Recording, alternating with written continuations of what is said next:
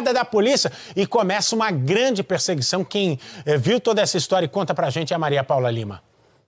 A perseguição começou depois da dupla não obedecer à ordem de parada dos policiais militares. Na entrada da comunidade de Heliópolis, na zona sul de São Paulo, o motorista perdeu o controle e bateu contra um micro-ônibus que vinha no sentido contrário.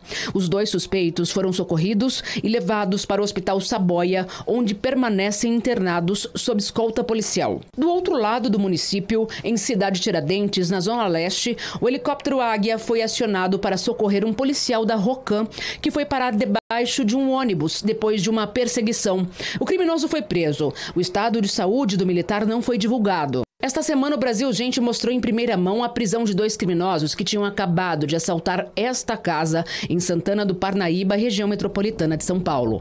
Vizinhos chamaram a GCM. Depois de uma intensa perseguição pelas ruas da cidade, os guardas detiveram os assaltantes. Parou, parou, parou, parou, parou, parou, parou! Vai tomar, se correr, vai tomar! Se correr, vai tomar!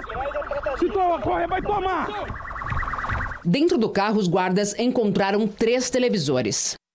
Na cidade vizinha Barueri, as polícias civil, militar e juntamente com a GCM trabalharam juntas para prender Everton Dantas Araújo, de 30 anos. Ele é o principal suspeito de matar com tiros na cabeça a grávida Tainara Evaristo Gomes, de 25 anos, em março do ano passado, em Jandira, município que fica ao lado. Everton furou dois comandos da GCM, atropelou três guardas, foi baleado na perna, socorrido e passa bem.